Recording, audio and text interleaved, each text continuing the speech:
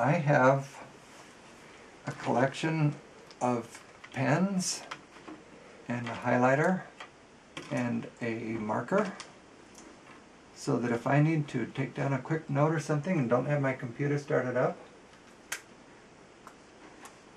I just put it in my glove and then I grab a piece of paper and then I can just write a quick note.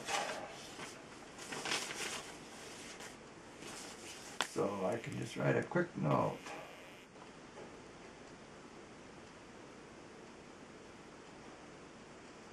And that's really handy if someone calls and I'm on the phone and I don't have my computer, I can just scribble and, and write here.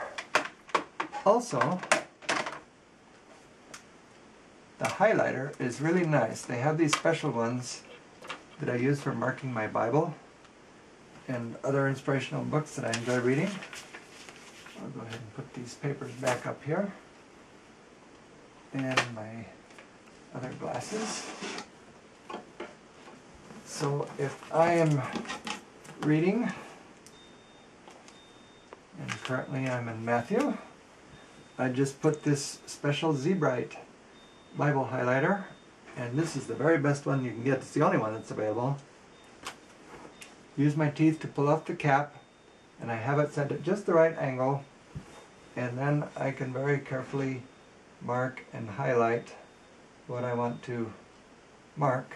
And then when I'm done, when I'm done, just put the cap back on, and I keep it there while I'm reading and if something else comes along, it's it's not really not that uncomfortable. I can just pop the cap off and mark some more, and then when I'm done, I'm can just pull it back out and put it back into place.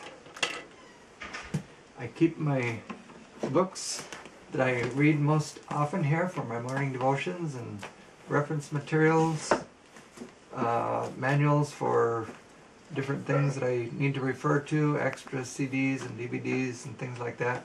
My box of Kleenex is in here, so when I need to blow my nose, I can just pull it out and and blow my nose.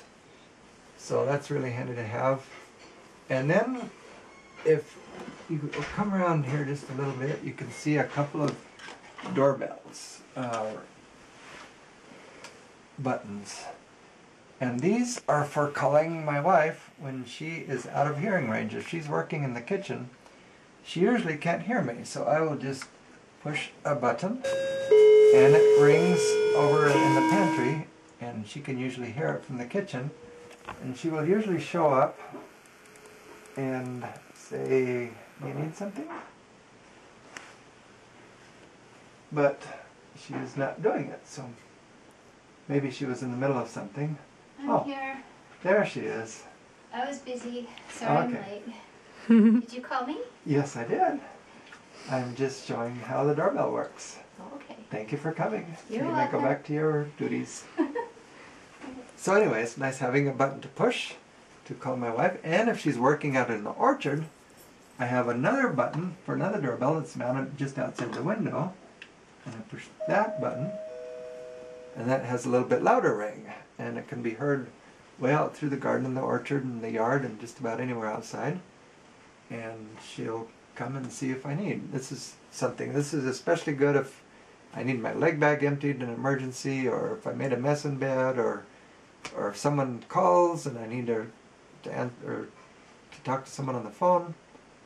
So those are some things that really make life a lot easier for me.